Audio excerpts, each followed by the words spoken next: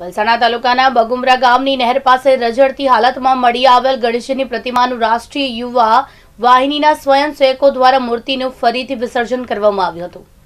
વહીવટીતંત્ર દ્વારા નદી અને કુદરતી તળાવ અને નહેરમાં ગણેશજીની પ્રતિમા પર વિસર્જન કરવા પર પ્રતિબંધ મૂકવામાં આવ્યો હતો.